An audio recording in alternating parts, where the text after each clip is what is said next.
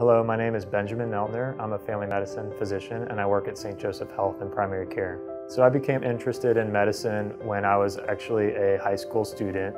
I had undertaken a volunteer opportunity at a local hospice center and just saw the incredible amount of good and compassionate care that can be offered to patients. Following that, I really couldn't see myself doing anything else because I just had tremendous joy. Ever since then, I've just had so much joy in medicine.